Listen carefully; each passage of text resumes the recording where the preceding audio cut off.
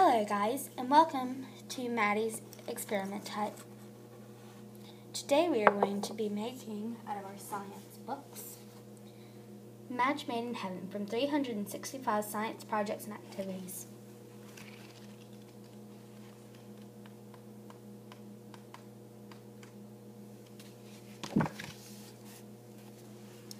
Match Made in Heaven. Caution. This project requires adult supervision. Now, to begin, you will need either a candle, small or large, doesn't matter what flavor. Please note, please have them jar candles. Please no tea light candles. Or strike on the box matches.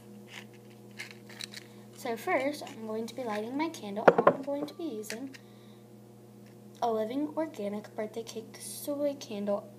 I got it TJ Maxx. Going to light one match.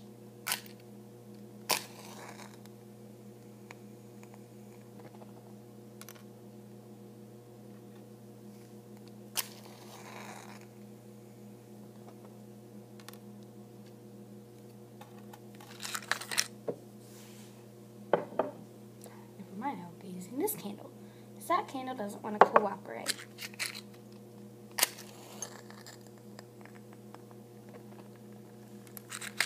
Ooh, my finger a little bit. Put it with my other burnt matches.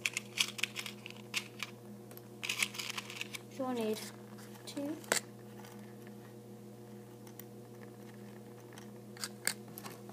and these matches.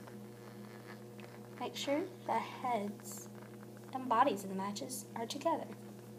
I take my candle,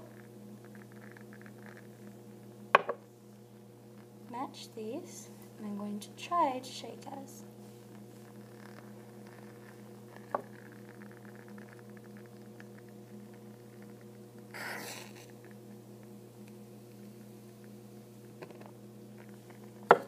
Ah, I didn't have them close enough together. This experiment did not work for me.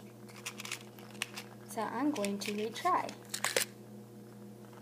Now, make sure they're held together so you guys can see.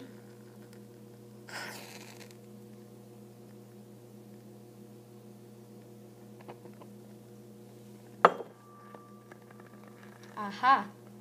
And there you go. Please note that I am holding only one side.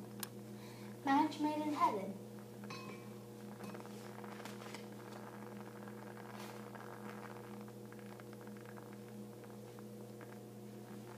What you will learn, burning matches make a product that will cause them to stick together. What happened? The head of match burns or oxidizes when oxygen combines with the material at the end of the match. The combustion create produces a new substance, a cinder type match that can that combustion produces a new substance. Cinder types of material with holes and pockets. When the matches are burned together, the cinder material of the two matches combine and holds the matches together. Have an awesome day. Love y'all.